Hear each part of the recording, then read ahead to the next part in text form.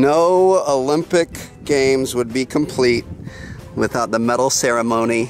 I think Koda and I might have been quicker. I think you might I, have. I think going with one paddle was way easier, but in our eyes, both of these boys are gold medalists. Look at that.